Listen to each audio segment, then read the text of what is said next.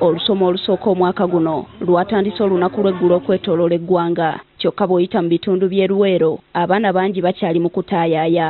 Lwaki tonaddayo ku ssomero? Tebannagula bitabo. Ŋŋamba nno sifaayo nja kuddayo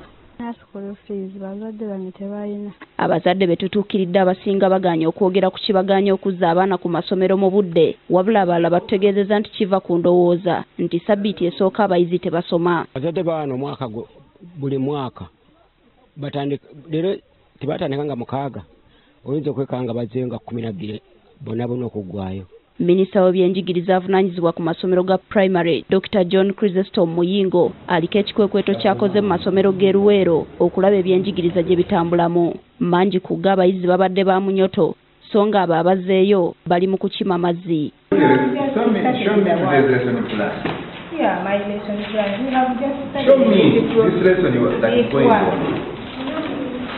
Abasomesa mu masomero gano basangiddwa nga si beetegefu kusomesa bayizi so nga n'abalala bakyali mu luwummula. Banewezaawo sente nyingi abaana temubasindise.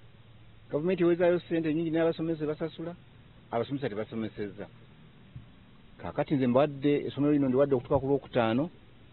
Essomero lya st caesar kyetume mu ggombolola y'eziroobwe liggaddwawo olw'obutatuukana na mutindo gwa byanjigiriza omuli okuba n'abasomesa abatali batendeke.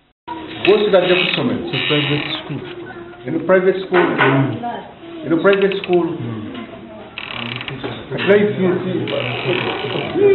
bannange bannange. Abaana b'eggwanga bwe bugagga bw'eggwanga okusobola okubeera obugagga bw'eggwanga bateekeddwa okuba nga basomeseddwa bulungi. Bali basomeseddwa abantu abatendeke. Minisita asigadde yeebuuza obanga ddala abatwala ebyenjigiriza mu luweero bakola emirimu egy'abatumwa olw'omutindo omubi ennyo gwasanzeeyo. Mwasaba emirimu gino nga mugyagala mugende mugikole. Neebuuza district education office ba inspectors muli luddawa? Bwe muba nti mugenze basomesa bano balondola nabbawa guidance results zetujjamu okufuna ze- ze- zetulabako ennaku zino ezitamatiza. Falton scovia nakamya ntv